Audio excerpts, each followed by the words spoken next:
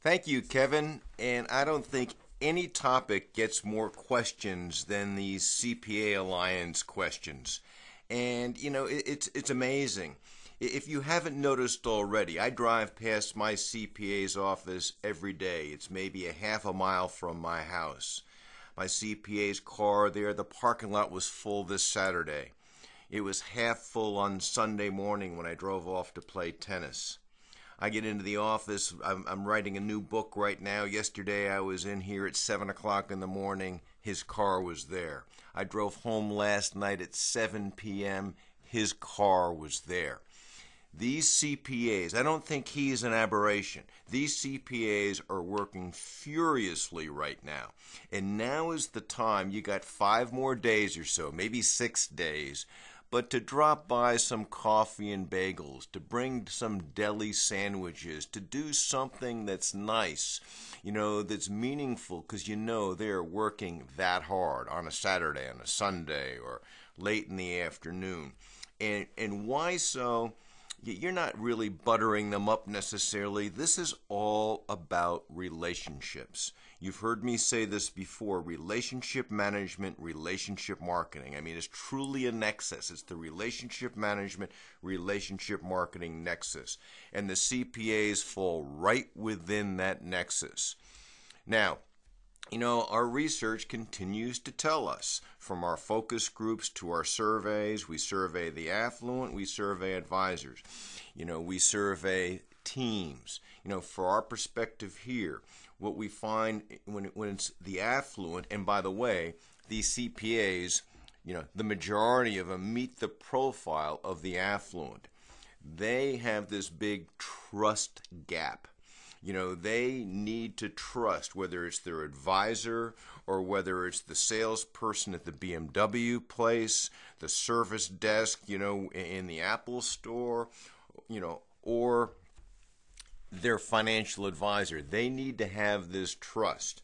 And in the service arena, which is our arena, what we have found, and the elite advisors are mastering this, they have mastered the concept of mixing business with pleasure. Our 2013 affluent research highlighted this. Every year we have an aha. The aha this year was mixing business with pleasure. And I can't emphasize this enough. And this is not just with clients. What we emphasize with advisors, if you think of your CPA alliances, whether they've given you the amount of referrals you would uh, desire or not, if you think of them just the way you think of your top affluent clients, you're helping yourself. And every metric that we measure in our research with the affluent is strengthened and strengthened significantly when advisors mix business with pleasure. And these elite advisors have figured this out. And basically, what they're doing is they find out that if they socialize with their affluent clients, they meet their, their affluent clients' friends, they penetrate their spheres of influence. If they socialize with their CPA partners and understand their families and, and the like, it accelerates referrals, it accelerates business growth. Now, Here's again our our advisor research. You look at the marketing activities here, and this just tells you very, very clearly that referral alliances, you know, followed very, very closely by personal introductions, and really they're almost inextricably linked because these referral alliances, they are introducing clients to their advisors. So if you take that referral alliance, that personal relationship, and you look at personal introductions. Right there, you have everything you need. You add strategic networking, which is civic involvement and socializing. And who are you going to socialize with? You're going to socialize with, you know, your referral alliance partners. You're going to socialize with your top clients, and you're going to socialize with any guests they might have. So right there is where we advise, and this is what we coach to. This is what we role play in our Rainmaker retreats. You know, how do we put structure around relationship management and relationship marketing, getting social. So, you know, let's let's look at right here you're seeing, you know, sort of we have a model. You know, in the middle there is managing your core. That's managing the relationship. But, you know, at the bottom you have existing partners, existing CPAs, CPAs who you know, who you probably would like to have more referrals or a better relationship.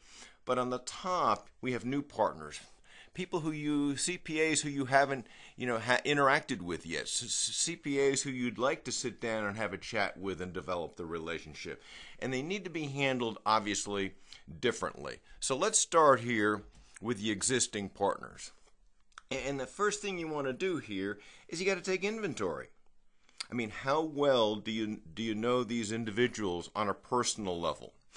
You know, how do you interact with them professionally? Now, when I say on a personal level, have you socialized with them? Do you know their spouse? Do you know what their children are all about? You know their hobbies, their likes, their dislikes.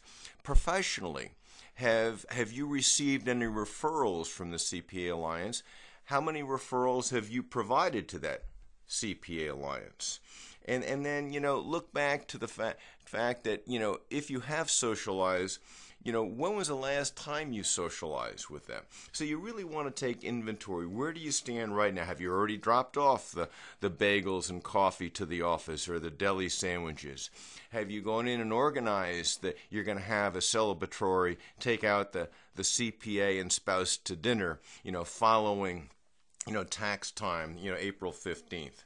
And then you got to schedule this, we call it a regroup meeting, you know, from your inventory, depending on what you discover, you know, what's available. Maybe they want to go, maybe they're, you know, they're sports fans and enjoy going to a minor league baseball game. Maybe you're going to have that little private social dinner celebrating, congratulating them on making it through tax season.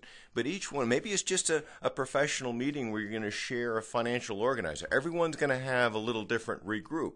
But during that regroup is where you begin to manage your core. Now, we're basically in your mind, you're starting over, and we are going to develop stronger, healthier relationships on a personal side as well as conducting good business.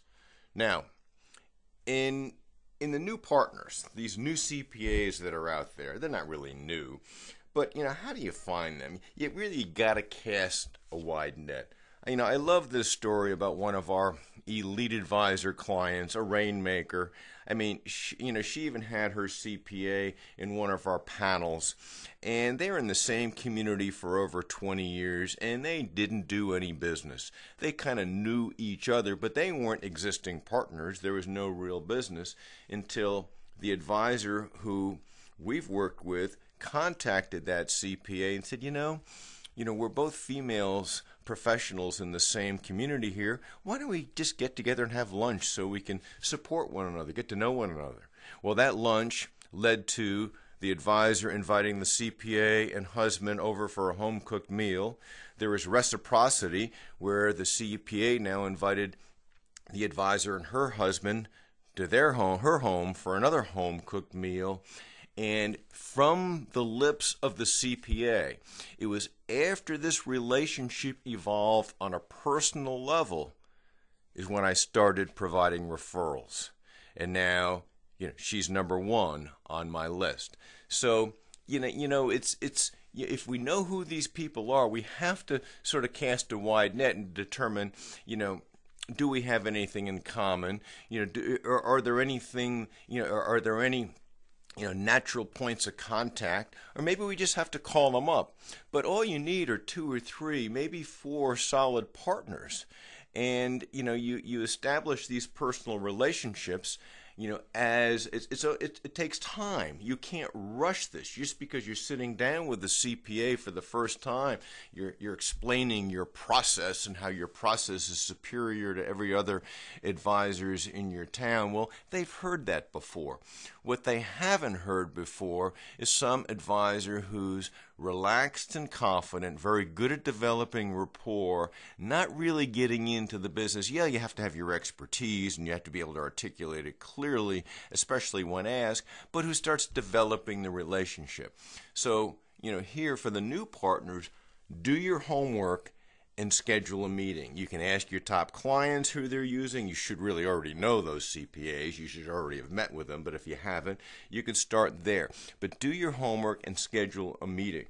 You know, it's from that meeting that you then manage your core.